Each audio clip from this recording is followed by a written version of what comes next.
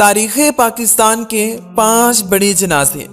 एक मरतबा किसी ने इमाम अहमद बिन हम्बल से पूछा कि हमें कैसे पता चलेगा कि कौन हक पर है तो आपने फरमाया कि हमारे जनाजे इस बात का फैसला करेंगे। इमाम अहमद बिन हम्बल ने जब इंतकाल फरमाया तो बगदाद में लाखों लोगों ने इनके जनाजा में शिरकत की और इनके जनाजे की शान देखकर हज़ारों की तादाद में गैर मुस्लिमों ने इस्लाम कबूल कर लिया था। 31 अक्टूबर उन्नीस बरोज जमेरात को मियाँ वाली जेल में गाजी इल्मुद्दीन को गुस्ताख रसूल राजपाल को कत्ल करने के जुर्म में फांसी देकर शहीद कर दिया गया। फांसी देने के बाद बरतानवी हुकूमत ने इनको बगैर नमाज़ जनाजा जेल के कब्रिस्तान में दफना दिया, जिस पर मुसलमानों ने अलामा मोहम्मद इकबाल की क़यादत में भरपूर एहतजाज किया और आखिरकार पंद्रह दिन बाद जब गाजी इल्मुद्दीन शहीद की मैयत को कब्र से निकाला गया तो इनका जिसम पंद्रह दिन बाद भी वैसा ही था जैसा कि पहले दिन तरोताज़ा था। दिसंबर की एक सुबह को इनका जिसम मुबारक लाहौर लाया गया और लाहौर की तारीख का ये सबसे बड़ा जनाजा कहलाता है।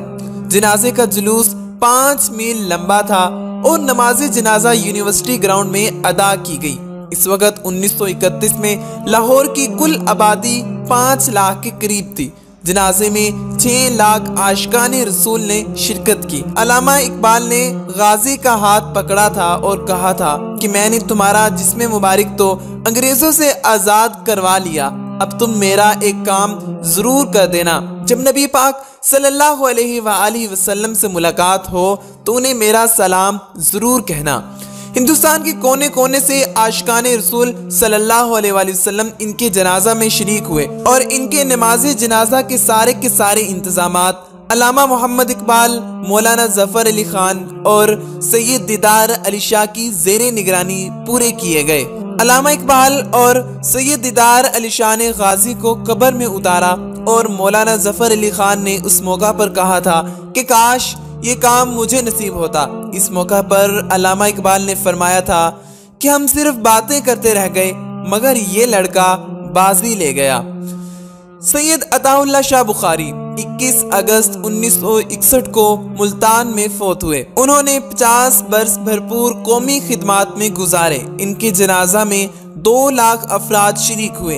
इनकी नमाज़ जनाजा इनके फर्जन मौलाना अबूजर बुखारी ने पढ़ाई। जनाजे के चारों तरफ़ आठ बाँस लगा दिए गए, चूँकि हर आदमी कंधा देने की सादत हासिल करना चाहता था।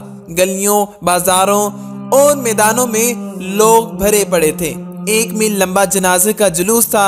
इनकी वसीयत के मुताबिक इन्हें एक आम कब्रिस्तान में स्पुर्दे खाक कर दिया गया। मौलाना अहमद अली लाहौरी, ज़मीन लाहौर में ऐसी ऐसी शख्सियात मदफन हैं जिन्हें कभी भुलाया नहीं जा सकता। इन्हीं में मौलाना अहमद अली लाहौरी भी शामिल हैं। आपने बर सग़ीर पाकुहिन की मसाजिद में दरस कुरान और दीनी मदारिस में दौरे तफसीर कुरान की रवायत कायम करने में अहम किरदार अदा किया था। आपने 17 रमज़ान मुबारक 23 फरवरी उन्नीस सौ बासठ बरोज जुमातुल मुबारक को सत्तर साल की उम्र में इस शान से, इस दुनिया फ़ानी से रुखसत हुए कि नौ बजकर तीस मिनट पर रात नमाज़ ईशा की नीयत बांधी। और सजदे में अपने खाल के हकीकी से जा मिले। जनरल मोहम्मद जियाउल हक का जनाजा अगस्त 1988 को शाह फैसल मस्जिद इस्लामाबाद में पढ़ाया गया। जनरल मोहम्मद जियाउल हक अपनी वफात के वक्त पाकिस्तान के सदर और चीफ ऑफ़ आर्मी स्टाफ भी थे।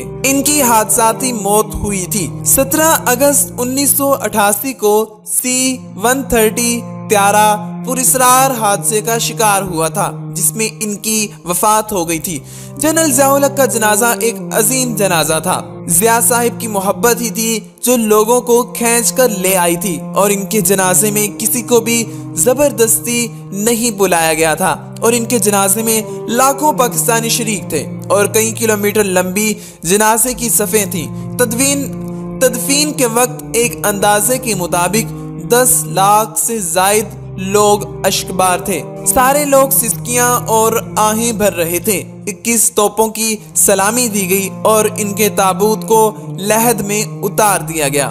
गाजी मुमताज़ कादरी के साथ साथ मौलाना खादिम हुसैन रिजवी साहिब का जनाजा लाहौर की तारीख का सबसे बड़ा जनाजा माना जाता है। इसमें लाखों की तादाद में अफराद ने शिरकत की और खादिम हुसैन रिजवी के जिसमें खाकी को एंबुलेंस में मीनारी पाकिस्तान के ग्राउंड में लाया गया और इनकी नमाज़ जनाजा अदा की गई और इनकी नमाज़ जनाजा के आप मनाजिर अपने सामने देख सकते हो कि कितनी बड़ी तादाद में लोगों ने इनके नमाज़ जनाजा में शिरकत की थी।